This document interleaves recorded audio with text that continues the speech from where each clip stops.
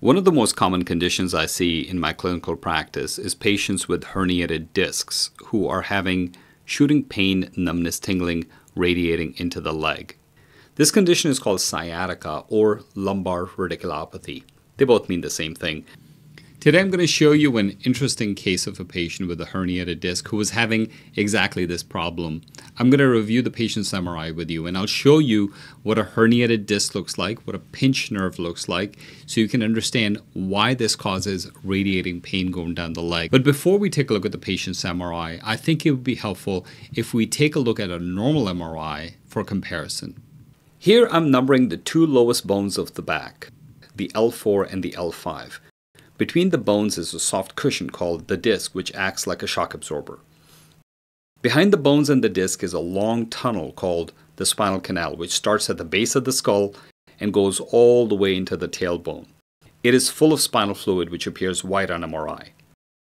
Inside the spinal canal, you can see these fine strings, which I'm outlining. Each one of these strings is a spinal nerve. In this MRI of the patient, you can see that a large piece of the disc between L4 and L5 bones has squeezed out of place and is causing severe narrowing of the spinal canal. This is what a herniated disc looks like.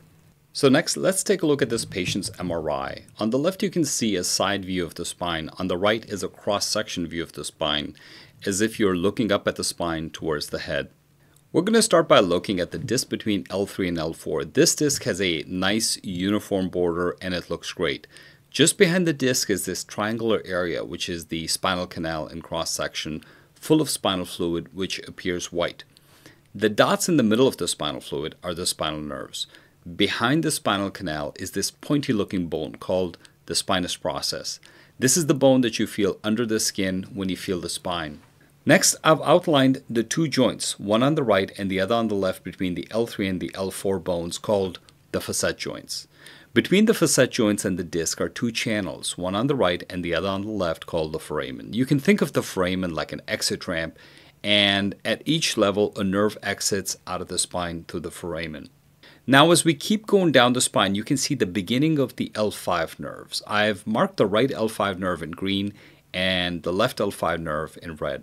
Just to make things a little bit easier to understand, I will highlight the herniated disc in yellow so you can see how the left L5 nerve is pinched. As we work our way down, you can see that the left L5 nerve is being slightly pinched at this point.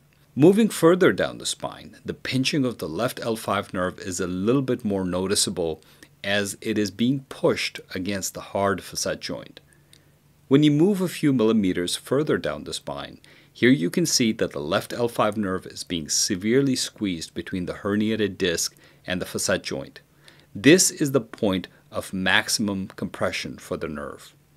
As you move further down, the left L5 nerve is no longer compressed and it gently curves around and exits the spine in the foramen between the L5 and the S1 vertebrae.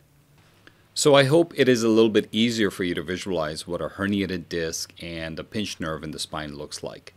This patient underwent a very successful discectomy surgery and had an excellent complete relief of symptoms. In my next video, I will show you step by step how I did this surgery. So make sure you subscribe to my channel and stay tuned. If you have any questions, please share in the comments below. I always enjoy hearing from my viewers. Thank you.